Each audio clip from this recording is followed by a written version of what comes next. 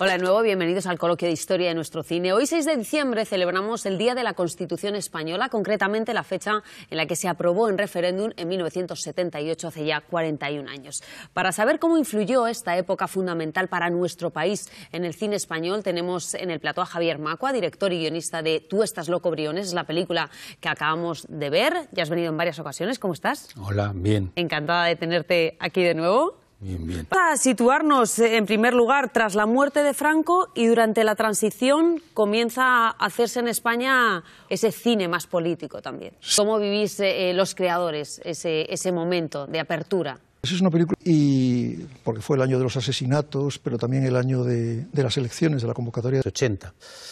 Y en el, en el 80 yo estaba fijo en aquí, en esta Santa Casa, en Radio Televisión Española. Durante 15 años estuve fijo.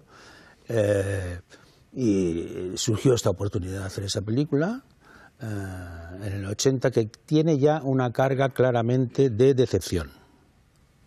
Es una carga de humor airado. Hubo problemas, pero bueno, eso no, no son, no son significativos. Pero luego para la exhibición sí. Eso fue un error por mi parte. Querer hacer una película de urgencia sin darte cuenta, pero era en realidad la primera película dentro de la industria que yo hacía. Vamos a hacer una lectura de la película que a mí me lleva a preguntarme, eh, es una pregunta que aquí la dejo, ¿no? si esa película se podría hacer hoy en día. Bueno, Ahí esta que realmente cuando yo... El Congreso. Han pasado 40 años desde el estreno de la película. Eh, ¿Con qué se quedaría Paulino Viota de la película